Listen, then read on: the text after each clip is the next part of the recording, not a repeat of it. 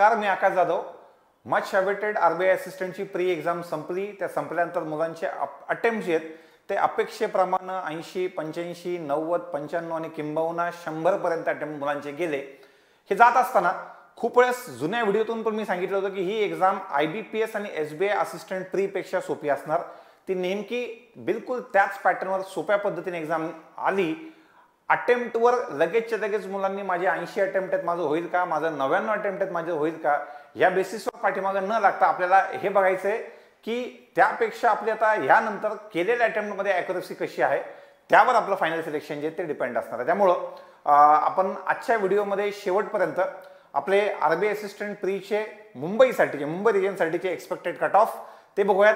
त्यानंतर आपण ह्या एक्झामची मेशी तयारी कशी करायची त्याबद्दलची स्ट्रॅटेजी मुलं ज्या चुका नेहमी करतात त्या कशा टाळता येतील वर्किंग क्लास असेल तर तो कशी तयारी करेल किंवा जे मुलं फुल टाईम प्रिपरेशन त्यांनी करत असताना काय काय करायचं त्या सगळ्या गोष्टींचा आपण वन बाय वन आजच्या व्हिडिओमध्ये आपण माहिती करून घेणार आहोत. आपण सुरू करूयात आजचा जो पार्ट आहे. सुरू करतोयात आपण मेन्सच्या प्रिपरेशनसाठी की मेन्ससाठी पहिल्यांदा कसं? मेन्ससाठी काय करायचं किंवा कोणकोणत्या पद्धतीने जायचं कोणकोणत्या चुका टाळायच्या हे बघूयात. व्हिडिओच्या शेवटी आपण जे कट ऑफ्स आहेत ते कट ऑफ्स आपण शेवटी शेवटी डिस्कस करूयात. पहिल्यांदा RBI assistant mains twenty twenty त्यासाठीची स्ट्रॅटेजी काय पाहिजे? Resources and strategy for general awareness and computer awareness आत्ता सध्याला मुलं तयारी करत असताना quant reasoning English G computer हे व्यवस्थित करतायत. समजा आज संध्याकाळी निकाल लागला की उद्यापासून मुलांच्या हातातलं क्वांट रिझनिंग इंग्लिश साईडला पडतं आणि जनरल अवेअरनेस आणि कम्प्युटरच्या पाठीमागं मुलं हात धुवून पाठीमागं लागतात. सकाळी उठलं जी आहे दुपारी जी आहे संध्याकाळी जी आहे रात्री जी आहे आणि स्वप्नात सुद्धा जी आहे बिलकुल ह्याच पद्धतीनं आधीच्या दोन हजार एकोणावीस अठरा त्या पद्धतीचे पॅटर्न त्यांच्या अभ्यासातून दिसून येतात. मला असं वाटतं या सगळ्या गोष्टी टाळायच्या अभ्यासामध्ये बॅलन्स महत्त्वाचा आहे. दोनशे पैकी मोठा पार्ट चाळीस चाळीस मार्काचा ऐंशी मार्काचा जो ऐंशी क्वेश्चनचा जो पार्ट आहे तो कम्प्युटर अवेअरनेसला कम्प्युटर अवेअरनेस आणि जीएला दिलेला आहे. पण याचा अर्थ त्याच ऐंशी आपलं सिलेक्शन होणार हे असं नाहीये. तर आपल्याला आपल्या अभ्यासातला चांगला भरभक्कम पंचवीस टक्के ते तीस टक्क्याच्या आसपासचा वेळ हा यासाठी काढायचा आहे. आपला अभ्यास जर दहा तासाचा होत असेल तर यापैकी तीस टक्के अर्थात तीन तासाचा वेळ आपल्याला जनरल अवेअरनेस आणि कम्प्युटर सारख्या विषयांसाठी काढायचा आहे. आता त्यासाठी करत असताना आपल्याला कोणकोणते रिसोर्सेस त्यासाठी कामाला येतील? दोन हजार दहा अकरा बारामध्ये चालू केल्यानंतर आमच्याकडे नंबर ऑफ रिसोर्सेस म्हणजे फक्त वेगवेगळ्या मॅगझिन्स आणि मॅगझिन्समध्ये मंथली त्यासाठी पण एक महिनाभर वाट बघावं लागायची त्यासाठी असलेले क्वेश्चन्स पण मला असं वाटतं मागच्या सहा महिन्याचं जेवढं काही कंटेंट तुम्हाला अवेलेबल असेल तर तेवढं सगळं त्यामध्ये कॅप्सूल येऊ शकतात. त्याच्यामध्ये तुमचे लेक्चरचे व्हिडिओज येऊ शकतात. त्या व्हिडिओमध्ये मंथली असतील त्या व्हिडिओमध्ये विकली असतील त्या व्हिडिओमध्ये एम सी क्यूच्या डिस्कशनच्या माध्यमातून जास्तीत जास्त क्वेश्चनचं प्रिपरेशन असेल किंवा सेम व्हिडिओचं त्यानंतर कधी कधी पी डी एफ सुद्धा अवेलेबल असतं. तेवढा कंटेंट असेल. हा सगळा पार्ट कॅप्सूल त्यानंतर व्हिडिओज त्याच्यानंतर एम सी क्यूच्या माध्यमातून केलेले क्वेश्चन्स डेली किंवा विकली व्हिडिओचा तुमचा डेली किंवा विकली व्हिडिओचा कंटेंट मला असं वाटतं ह्या सगळ्या गोष्टी तुम्हाला निश्चित कामाला येतील जनरल अवेअरनेस आणि कम्प्युटर अवेअरनेससाठी स्पेसिफिकली ज्यांचं टेक्निकल ग्रॅज्युएशन कम्प्युटर किंवा रिलेटेड पार्टमधून जसं की computer engineering M C A B C S B C A हा पार्ट झाला असेल तर आपल्याला खूप जास्त कम्प्युटरच्या व्हिडिओ लेक्चरची गरज पडत नाही पण नॉन टेक्निकल मुलांनी तसा आधार घेत असताना कम्प्युटरच्या सुद्धा नॉन टेक्निकल जेवढा काही जेवढा काही पार्ट व्हिडिओमधून येतोय तो सुद्धा आणि पुस्तकाचा सुद्धा वापर करायचा आहे. सध्याला मागच्या दोन हजार सतराच्या बॅचमधून जेवढे काही पासआउट झालेले विद्यार्थी आहेत यांना ज्यावेळेस मी विचारलं त्यावेळेस सगळ्यांनी ल्युसेंटचं असलेलं बुक ल्युसेंट पब्लिकेशनचं बुक असं सांगितलेलं की सध्याच्या ह्या कंटेंटसाठी सफिशियंट आहे म्हणून. तर त्याच्यासोबत सोबत एम एस ऑफिस आणि रिलेटेड पार्टसाठी तुम्हाला जो कोणता चांगला कंटेंट सापडेल त्या कंटेंटवर फोकस करा. पण मला असं वाटतं अभ्यासाच्या तुमच्या तीस टक्क्यापेक्षा जास्त वेळ हा जी आणि कम्प्युटरला जायला नको. ते का? ते मी शेवटी शेवटी व्हिडिओमध्ये डिस्कस करेलच. पुढे या. आपल्याला पुढचा पार्ट बघायचा आहे की taking RBI assistant mains mock आता खूप लोक निकाल लागल्यानंतर दुसऱ्या दिवशी फुल अँड टेस्टच्या पाठीमागं लागतात. मला असं वाटतं प्रत्येकासाठी ही स्ट्रॅटेजी वेगळी पाहिजे. जे लोक पहिल्यापासून तयारी करून बसलेले आहेत. आधी खूप निकाल आलेले आहेत. अभ्यास शंभर टक्के संपलेला आहे. अशा मुलांनी फुल लेंथ टेस्टपासून चालू करायला हरकत नाही. पण ज्यांचा अभ्यास अर्धवट झालेला आहे तर मला असं वाटतं त्यांनी इनफॅक्ट आताचा वेळ प्रीचा निकाल लागेपर्यंतचा वेळ सुद्धा वापरायचा आहे. तो मला असं वाटतं त्यातल्या त्यात मेन्सच्या डेली क्विजसाठी टॉपिक टेस्टसाठी आणि सेक्शनल टेस्टसाठी या भरपूर काही वेगवेगळे जे ऑनलाईन एक्झामचे पॅकेजेस आहेत त्या पॅकेजेसमध्ये तुम्ही बघा तुम्ही स्वतःहून बघा की आपण तयारी करत असताना आपण प्रीच्या खूप टेस्ट देतो. आपण मेन्सच्या खूप टेस्ट देतो. पण आपण त्यांच्या सेक्शनल टेस्ट किती देतो? आपण त्यांच्या टॉपिक टेस्ट किती देतो? मला असं वाटतं पहिला फोकस जर अभ्यास कंप्लीट झाला नसेल तर राहिलेले टॉपिक कंप्लीट करून त्या त्या टॉपिकच्या टेस्ट ज्या आहेत स्पेसिफिकली त्याची डिफिकल्टी लेवल ही मॉडरेट पाहिजे. खूप इझी पण नको खूप डिफिकल्ट पण नको. कारण की मला अजूनही वाटतंय की आरबीआयचा हा असिस्टंट मेन्सचा पेपर हा आय बी पी एस आणि एस बी आय असिस्टंट मेन्सपेक्षा सोपा असणार आहे. त्यापेक्षा क्वांट रिझनिंग इंग्लिशची डिफिकल्टी लेवल निश्चितच जी आय बी पी एस आणि एस बी आय असिस्टंट मेन्सला येते त्यापेक्षा सोपी असेल. त्यामुळेच कट ऑफ सुद्धा त्यांचा जो आहे तो हायर साईडला असतो. कारण की डिफिकल्टी लेवल क्वांट रिझनिंग इंग्लिशपैकी एखादा विषय डिफिकल्ट येईल पण तो आपण जर I B P S S B आयचा पेपर याच्याशी कंपेअर केलं तर त्यापेक्षा पेपरची ह्या पेपरची डिफिकल्टी लेवल ही कमीच असणार आहे. एखादा आय बी पी एसचा पेपर एखादा मुलगा देऊन आला एस बी आयचा पेपर देऊन आला मी आय बी पी एसच्या असिस्टंटच्या मागच्या तीन वर्षाचे कट ऑफ सांगतो की पहिल्यांदा एक दोन पॉईंट पुढे मागं होऊ शकतात. अठ्ठ्याहत्तरचा कट ऑफ होता तीन वर्ष आधी दोन वर्ष आधी एकोणनव्वद आणि पाठीमागच्या वर्षी शंभरचा कट ऑफ होता दोनशे पैकी I B P S assistant मेन्सचा या वर्षीचा एसबीआयच्या असिस्टंट मेन्सचा कट ऑफ हा एकोणनव्वद आहे. सांगण्याचा मुद्दा माझा आहे अठ्याहत्तर असो एकोणनव्वद असो शंभर पर्यंत गेलेला असो किंवा एसबीआयचा एकोणनव्वद असो हा सगळा कट ऑफ आतापर्यंत दोनशे पैकी दोन अंकीमध्ये आहे. पण एसबीआयचा आणि पण आरबीआयचा कट ऑफ जो आहे तो मेन्सचा कट ऑफ आतापर्यंत जनरलचा कट ऑफ हा तीन अंकी राहिलेला आहे. अर्थात जास्त मार्काचा कट ऑफ लागण्याच्या पाठीमागचं एक महत्वाचं कारण ह्या दोन्ही एक्झामपेक्षा म्हणजे एसबीआय आणि आरबीआय एसबीआय आणि आयबीपीएस असिस्टंट मेन्सपेक्षा आय बी आरबीआयच्या असिस्टंटची मेन्सची डिफिकल्टी लेवल ही जी आहे ही कमी असते. त्यामुळं कट ऑफ सुद्धा वरती लागतो. तर ह्या ज्यांचे ज्यांचं अजून अभ्यासाचे प्रिपरेशनचे काही टप्पे बाकी आहेत काहींचं असं असतं की माझं पम्युटेशन कॉम्बिनेशन प्रॉबिलिटी सारखा टॉपिक बाकी आहे. तो टॉपिक करायचा त्याची टॉपिक टेस्ट द्यायची. तर लगेचच्या लगेच ऑनलाईन टेस्टच्या फुल लेनची घाई करू नका. कारण की आपला जर शंभरपैकी सत्तर मार्काचा पार्ट चांगला झालेला आहे तीस मार्काचा पार्ट बाकी आहे तो मॉडरेट लेवलचा प्रिपरेशन त्याची झालेली नाही. तर सगळ्यात महत्वाचं ते तीस मार्क किंवा ते सत्तर मार्क आपल्याला आपले चेक करण्यासाठी आपल्याला शंभरपैकी शंभर मार्काची टेस्ट देण्याची आवश्यकता नाही. पहिल्यांदा जो तीस मार्काचा पार्ट बाकी त्याच्यावरची इम्प्रुव्हमेंट करून राहिलेल्या तीसमध्ये कसे जास्तीत जास्त मिळवता येतील? आणि त्याच्यानंतर जसा आता पुढच्या काही दिवसामध्ये निकाल लागला त्याच्यानंतर लगेचच्या लगेच मेन्सच्या फुल लेन टेस्टवर जाता येईल. पण ज्यांचा अभ्यास संपलेला आहे त्यांनी लगेचच्या लगेच आरबीआय असिस्टंटचे मेन्सच्या टेस्ट देण्याला कसलीही हरकत नाही. फक्त ज्यांच्या अभ्यासामध्ये काही पार्ट बाकी आहे. त्यांना मी सजेस्ट करेल मेन्सचे डेली क्विज टॉपिक टेस्ट आणि सेक्शनल टेस्ट जे याचा तुमच्याच पॅकेजमधला वापर जो आहे तो जास्तीत जास्त करायचा आहे. पुढच्या मुद्द्यावर या. Question selection in quant and reasoning हे मी नेहमी नेहमी माझ्या बॅचेसमध्ये मुलांना सांगत असतो की जर मी तुम्हाला क्वांटचा पेपर समजा चाळीस मार्काचा पेपर आहे. चाळीस मार्कापैकी समजा पंधरा मार्काचं डी आय येणार आहे. एक्सपेक्टेड मेन्सचा पॅटर्न मी पुढे डिस्कस करतोयच.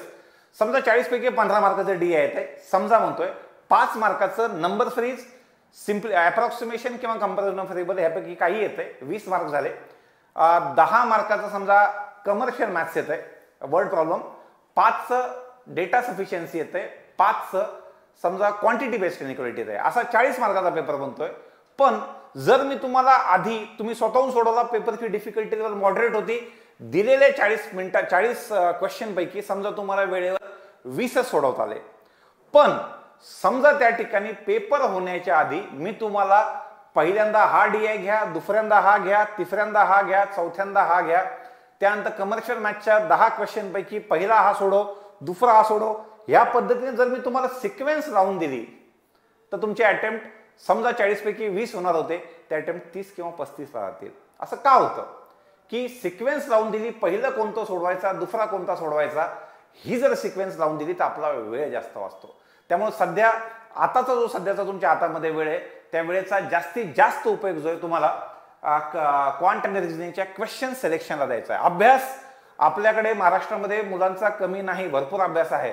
पण तुम्ही तुम्ही जास्तीत जास्त टेस्ट देता पण त्या टेस्टचा वापर जो आहे त्या टेस्टचा अनालिसिस करत असताना समजा तुमच्या पेपरमध्ये तीन डी आले आणि तुम्ही तीन पैकी दोन सोडवलेले आहेत. तुमच्या अनालिसिसमध्ये हे आलंच पाहिजे की जो मी सोडून दिलेला तिसरा डी आय आहे तो खरंच सोडण्याच्या लायकीचा होता का? आणि आधी जे दोन डीएला मी हात लावलेला आहे पहिल्यांदा ह्या डीएला लावला मग ह्या डीएला हात लावला. पहिल्यांदा हाच डीए सोडवण्याचा हरकत होता का? मग हाच होता का? मग हाच होता का?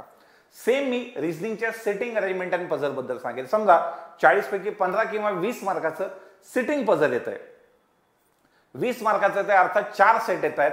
चार सेट पैकी पहिला सेट तुम्ही तोच उचलतायत का? की ज्याच्यामध्ये सगळ्यात सोपा आहे? दुसऱ्यांदा त्याच्यापेक्षा थोडासा अवघड तिसऱ्यांदा त्यापेक्षा थोडासा अवघड चौथ्यांदा त्यापेक्षा थोडासा अवघड.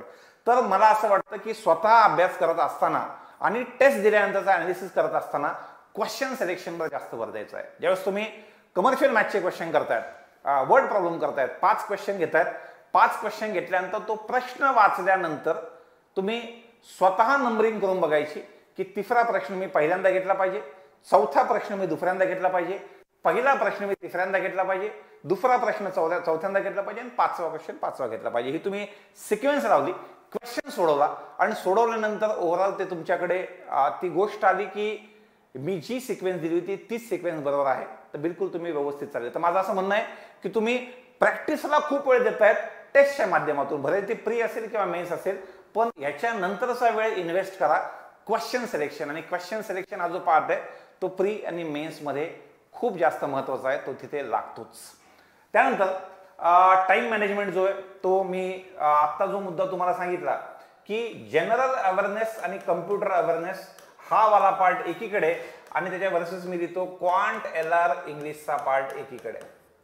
तर तुमच्या अभ्यासातला फ्री असो किंवा मेन्स असो thirty to thirty five percent वेळ जो आहे तो इकडे द्या आणि around sixty five to seventy percent वेळ जो आहे तो इकडे द्या. भलेही खूप लोकांना हे कॉन्ट्रास्ट किंवा असं वाटतं की माग पुढच्या दहा पंधरा दिवसांमध्ये मी कॉन्ट काय करणार? तेवढ्या कमी वेळेमध्ये मी जी आणि कम्प्युटर केलं तर माझं खूप भलं होऊन जाईल. तर हा वेळ जो आहे तर मला असं याच्यावर स्ट्रॉंग ओपिनियन माझं आहे की मी ही स्वतःहून ज्यावेळी वेळेस एक्झाम दिल्या ज्याही वेळेस एक्झाम काढल्या मला कधीही जनरल अवेअरनेस सेक्शनचा तेवढा जास्त वापर करावा लागला नाही. क्वांट रिझनिंग इंग्लिश या तीनपैकी दोन सेक्शन माझे क्वांटन इंग्लिशचे बरे होते. त्या बेसिसवर माझे आतापर्यंतचे निकाल येत गेले. पण ह्याचा अर्थ तुमचेही त्या बेसिसवर येतील असं नाही. पण ह्याचा अर्थ तुम्ही अवाजवी महत्त्व तुमच्या जी आणि कम्प्युटरच्या स्किल्सला किंवा तिथे द्यायचं नाहीये. जी बद्दल जर मला सांगायचं झालं जर मी विकली किंवा डेली एक दोन तीन तास दोन तीन तास जी ए करतो आणि ते केल्यानंतर समजा आजच्या घडीला मी पाहतो की आजचा जोही पेपरचा पॅटर्न जी एचा आहे. भले तो आत्ता आलेला I B P S clerk मेन्समध्ये असो त्यानंतर नाबार्ड ऑफिस अटेंडंटमध्ये असो किंवा त्याच्या आधीचे पेपर बघितले जर डेली आपण दोन तीन तास दोन तीन तास वेळ देतोय एक्झामच्या आधी दोन तीन तास वेळ देतोय तर अशा मुलांचा जीएचा स्कोअर हा तीस ते साधारणत एक पंचवीस ते तीसमध्ये पंचवीस ते तीसमध्ये. पण जे दिवस दिवसभर त्या विषयाला घोटतायत दिवस दिवसभर त्या विषयाच्या पाठीमागे आहेत अशांचा स्कोअर तीस पस्तीसच्या मध्ये तर ह्या पाच मार्कासाठी दिवस दिवसभर त्याच्यामध्ये घालणं परवडत नाही. तो तीन तासाच्या वेळेमध्ये जर पंचवीस तीसमध्ये आपण पोहोचत असो आणि दिवसभर वेळ घालून आपण तीस पस्तीसमध्ये जात असतो तर मी अशा केसमध्ये पहिलं ऑप्शन घेत मी दहा तास तयारी याचीच करण्यापेक्षा मी तीन तास करेन आणि राहिलेले माझे सात तास जे आहेत हे मी क्वांट एल आर आणि इंग्लिश या विषयाला देईल. एक्झाम इन इनफॅक्ट एक्झाम जवळ आली असेल तरी सुद्धा मी ही स्ट्रॅटेजी वापरेल. की माझे तीन चार तासाचा आसपासचा वेळ हा जी ए कम्प्युटरसाठी आणि राहिलेल्या सहा सात तासाच्या आसपासचा वेळ जो मी क्वांट रिझनिंग इंग्लिशसाठी देईल. ह्या विषयामध्ये माझं त्याच्यामध्ये देईल. कारण की तिथं मला मुलं असं म्हणतात की शेवटच्या आठ दिवसात शेवटच्या दहा दिवसात क्वांटेलरची किंवा रिझनिंगची किंवा इंग्लिशची काय तयारी करायची? तर माझं असं म्हणणं आहे ती तयारी तुमची क्वेश्चन सिलेक्शनची पाहिजे. जेव्हा तुम्ही चार किंवा पाच डी आय एका खाली घेता सोडवायला मी थोडंसं क्वांट विषय एखादं एक्झाम्पल सांगताना नेहमी क्वांटकडे येतो कारण की माझा विषय येतो हे मला त्यातून समजून सांगायला सोपं जाईल. पण तोच नियम लागू राहील रिझनिंग आणि इंग्लिशला मी पाच डी आय घेतले पाच सेट घेतले.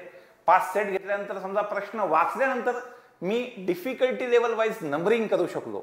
फक्त प्रश्न वाचून अर्थात मी काम करतोय क्वेश्चन सिलेक्शनवर ती प्रॅक्टिस शेवटच्या काही दिवसामध्ये ठेवा. सो दॅट तुम्हाला त्याचा तुमच्या मॉक एक्झाम्सला निश्चित फायदा होईल. तर त्यामुळं ह्या पद्धतीनं त्यानंतर मी शेवटचा मुद्दा पुन्हा पुन्हा तो सांगतो की जी आणि कम्प्युटरला अवाजवी महत्त्व देऊ नका. तो वेळ क्वांट एल इंग्लिशमध्ये क्वेश्चन सिलेक्शनला तो वेळ तुम्ही वापरा. निश्चितच. आता आपण येऊयात. मागच्या वर्षी जो मागच्या वर्षी नाही टू थाउजंड सेव्हन्टीनला जो पेपर आरबीआयचा झाला होता मेन्सचा ते चाळीस क्वेश्चन जे आहेत त्यामध्ये डी आय पंधरा क्वाड्रेटिक इक्वेशन पास डेटा सफिशियन्सी पास आणि topic wise probability mixture alligation time and work ratio partnership boat and stream miscellaneous आणि टोटल अशा पद्धतीनं हा वाला पार्ट आलेला आहे. टेक्निकल टीम मला थोडंसं गायब करा दोन मिनिटासाठी सो दॅट मुलांना हा वाला पार्ट व्यवस्थित पाहता येईल. बघून घ्या. D I quadratic equation data sufficiency probability mixture ह्या वेळेसचा पेपर मला अपेक्षित कसा आहे तुम्ही इकडे साईडला लिहितो. यावेळेस मलाही अपेक्षित आहे की डीआय वाला पार्ट हा फिफ्टीन टू ट्वेंटी मार्क्सला येणार. जर वीस मार्काला आला तर त्यामध्ये केसलेट वाला डी आय हमखास असणार पण फिफ्टीन टू ट्वेंटी त्याच्यानंतर नंबर फ्रीज अप्रॉक्सिमेशन किंवा कंपॅरिझन ऑफ व्हेरिएबल या तीनपैकी कोणताही एक पार्ट पाच मार्काला येईल. त्यानंतर कमर्शियल मॅथ्सचा जो पार्ट आहे याला आपण वर्ड प्रॉब्लेम किंवा अरिथमॅटिक म्हणतो हा वाल्या ह्या वाल्या पार्टच्या अपेक्षा मला एक दहा मार्काची आहे. त्याच्यानंतर क्वांटिटी बेस्ड इनइक्वॅलिटी किंवा डेटा सफिशियन्सी या दोनपैकी कोणताही एक जो आहे तो पाच मार्काला येण्याचे चान्सेस मला जास्त वाटत आहेत तर ह्या पद्धतीनं पंधरा आणि पाच वीस वीस आणि दहा तीस आणि दहा आणि पस्तीस किंवा समजा हा वाला पार्ट असा आला सगळ्यात महत्वाचं पुन्हा सांगतो डी आय पंधराला आला तर कमर्शियल मॅथ्स पंधराला येईल. समजा डी आय वीसला आला तर कमर्शियलचा पार्ट जो आहे तो दहा मार्काला तर ह्या पद्धतीचा पेपर मला ह्यावेळेस एक्सपेक्टेड आहे क्वांटचा आपण पुन्हा ना स्क्रीनवर रिझनिंग वाला पार्ट बघूयात. रिझनिंगवाल्या पार्टमध्ये जो मागचा टू थाउजंड सेव्हन्टीनचा पेपर होता हा टॉपिक वाईज सिलेबस मला पुन्हा गायब करा. Seating puzzle twenty data sufficiency five alphabet position five input output five inequality दोन मिसेलिनियस तीन अशा टोटल चाळीस मार्काचा पार्ट होता. या वर्षी याच्यामध्ये जे काही चेंजेस अपेक्षित आहेत ते चेंजेस मला असं वाटतं की क्रिटिकल रिझनिंगचा पार्ट हायर रिझनिंगचा जो पार्ट आहे तो एक पाच मार्काला अपेक्षित आहे. आणि जे काही क्वेश्चन तुम्ही समजा एखादा पार्ट आहे सिलॉरिझमचा तर सिलोच्या पार्टमध्ये ह्या वर्षी प्रत्येक एक्झाममध्ये मी पाहतोय की फ्यू आणि ओनली फ्यूचे क्वेश्चन खूप जास्त येतात.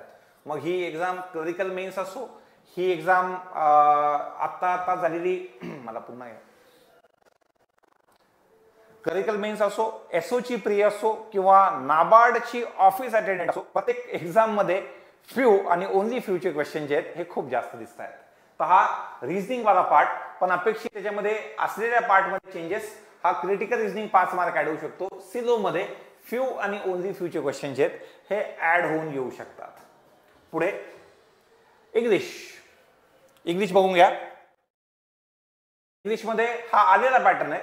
रिडिंग कॉम्प्रेन्शन बारा क्लोस्टेज सहा एरर डिटेक्शन पाच पॅराग्राफ स्टार्टर सात सेंटेन्स रिअरेंजमेंट पाच आणि फ्रेज रिप्लेसमेंट पाच असा चाळीस मार्काचा पार्ट हा दोन हजार सतराला आला होता. यावेळेस त्याच्यामध्ये चेंजेस हे पुन्हा स्क्रीनवर घ्या. यावेळेस याच्यामध्ये जे चेंजेस आहेत हे चेंजेस अपेक्षित याच्यामध्ये की जो न्यू पॅटर्नचा पाठ आलेला आहे. एक चांगला क्वेश्चन क्लरिकलच्या मेन्सला आला होता आयबीपीएस क्लर्क मेन्सला आला होता. ज्यामध्ये पाच सेंटेन्स दिले होते. पाच सेंटेन्समध्ये एक पार्ट बोर्ड करून दिलेला होता.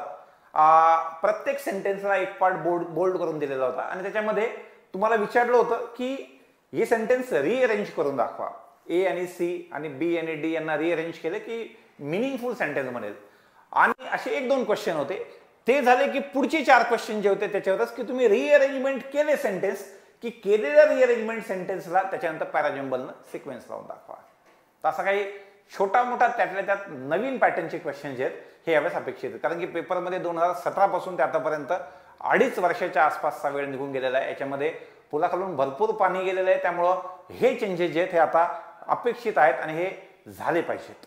पुढे. आरबीआय असिस्टंटचा जीएचा जो पार्ट आहे याच्यामध्ये बँकिंगचे स्टॅटिकचे फायनान्शियल अवेरन्स आहेत आणि करंट अफेअर्सचा पार्ट जो आहे हा आलेला आहे. कम्प्युटर अवेरन्स आपले टिपिकल एम एस ऑफिस आणि मी आधी सांगितलं रिसेंटचं बुक हा वाला पार्ट तुमच्या एक्झामसाठी जो आहे तो सफिशियंट होऊन जाईल. आणि लेक्चर व्हिडिओचा जो काही पार्ट जो आहे कंटेंट त्यामध्ये मी तुम्हाला ॲड करायला सांगितलेला आहे. हा जी एसाठीचा आणि कम्प्युटरसाठीचा पार्ट त्यानंतर यावेळेसच्या ज्या प्री एक्झाम आहेत त्यामध्ये आरबी असिस्टंट प्रीचा टू थाउजंड सेव्हन्टीनचे हे कट ऑफ्स होते यावेळेस जे एक्सपेक्टेड कट ऑफ आहेत महाराष्ट्रासाठी अर्थात मुंबई रिजनसाठी तो जनरलसाठी एक्सपेक्टेड मला शहात्तर ते अठ्याहत्तर. ओबीसी एकाहत्तर ते त्र्याहत्तर ईडब्ल्यू एस एकोणसत्तर ते एकाहत्तर एस सी जागा मुंबई रिजनला त्या प्रपोर्शनमध्ये कमी असल्यामुळे चौऱ्याहत्तर ते पंच्याहत्तर आणि एस टी अठ्ठावन्न ते साठ हा अपेक्षित कट ऑफ आहे ह्या वर्षीचा मुंबई रिजनसाठीचा याच्यामध्ये बिलकुल हेच प्रमाण पकडून तुम्ही लगेच लगेच प्रिपरेशनला लागलं पाहिजे मी असं म्हणत नाही आहे पण या एक्सपेक्टेशन्सवर आपण आपलं काम जे हे चालू करायला बिलकुल हरकत नाही. या पद्धतीनं. आणि याचा आणि अटेम्प्टचा संबंध नाही. या ठिकाणी ज्यांना ऐंशी अटेम्प्ट केलेले आहेत बिलकुल त्याचाही निकाल येऊ शकतो. आणि कधी कधी असं की नाही शंभर अटेम्प्ट केले त्याचा येणार नाही. तुमच्या आता याच्यानंतर किती अॅक्युरसीवर त्यावर डिपेंड आहेत एक्झाम देऊन आल्यानंतर सगळ्यांनाच असं वाटतं की माझा मी जेवढे अटेम्प्ट केले तेवढे तेवढे बरोबर आहेत म्हणून. पण खूप वेळेस असं नसतं. त्याच्यामध्ये काही ना काही चुका ज्या आहेत त्या होतच असतात. त्यानंतर सगळ्यात शेवटी मला जे काही महत्त्वाचे पॉईंट सांगायचे आहेत की आता मेन्सचं प्रिपरेशन करताना मेन्सच्या प्रिपरेशनसाठी काही शीट्स ज्या आहेत त्या मी बनवलेल्या आहेत. त्या सगळ्या शीट्स तुमच्यापर्यंत पोहोचवण्याचं जे माध्यम आहे ते टेलिग्राम सध्याला हे इफेक्टिव्ह मीडियम आहे. खाली जे व्हिडिओच्या खाली जे पट्टी आहे त्याच्यामध्ये टेलिग्रामचं चॅनल ए बी डी संकल्प हे दिलेलं आहे. त्यावर मी सेवन्टीन सतरा तारखेला एक दीडशे क्वेश्चनच्या कमर्शियल मिक्स डी आयची शीट टाकलेली आहे. कमर्शियल मिक्स डी आय दीडशे क्वेश्चन दिलेले आहेत. हे क्लरिकल मेन्सच्या लेवलची शीट्स आहेत. सोबतसोबत त्याच्यानंतर आता सध्या मी वर्ड प्रॉब्लेम एक दोनशे क्वेश्चन म्हणजे कमर्शियल मॅथ्स त्यानंतर क्वांटिटी बेस्ड इनिक्विलिटी पन्नास क्वेश्चन डेटा सफिशियन्सी पन्नास क्वेश्चन्स केसलेट डी आय खूप लोक घाबरतात पण पाच मार्काला हा पार्ट देतो म्हणून त्याचे पन्नास क्वेश्चन्स अशा वेगळ्या वेगळ्या शीट्स सध्या बनवून ठेवलेल्या आहेत. ह्या सगळ्या शीट्स मी तुमच्याशी शेअर करेल अजूनही त्यावर मटेरियलवर काम चालू आहे. जसा आरबीआयचा निकाल लागला तसे व्हॉट्सॲपचे ग्रुप बनवून त्या ग्रुपच्या माध्यमातून त्या शीट्स ज्या आहेत हे मी निश्चितच तुमच्यापर्यंत पोहोचवतो.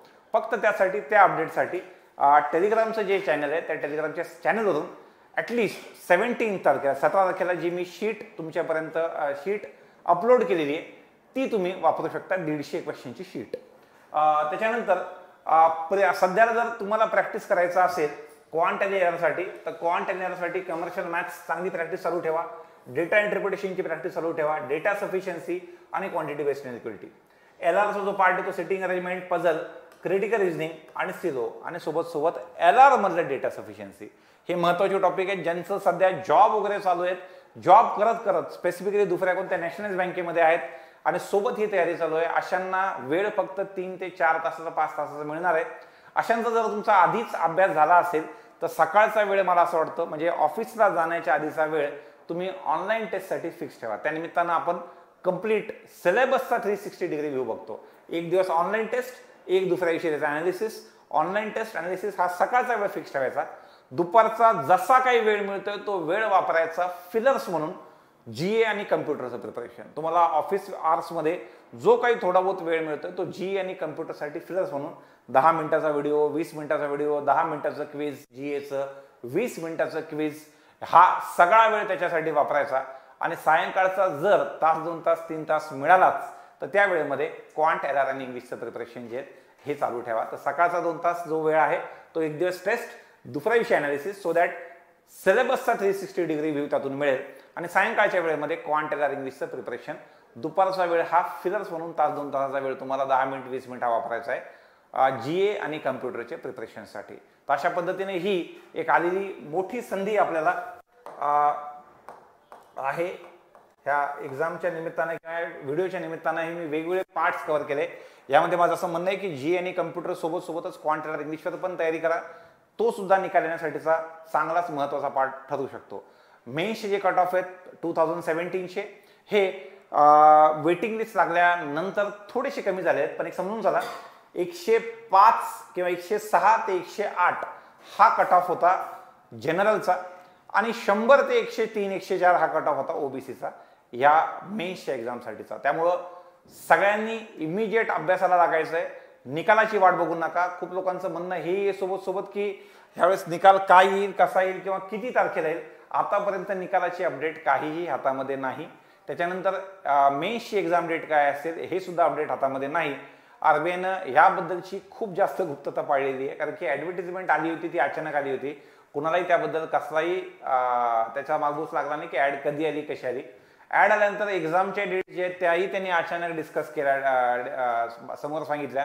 आणि मेन्सबद्दलही तसंच होणार आहे की ॲडच्या डेट ज्या आहेत त्या अचानक येणार आहेत. त्या ॲडच्या डेटबद्दल कसलीही माहिती किंवा काहीही कळालं असेल तर ते मी टेलिग्रामच्या चॅनलवर पहिल्यांदा शेअर करतो कारण की ते इफेक्टिव्ह आणि कमी वेळेचं माध्यम आहे.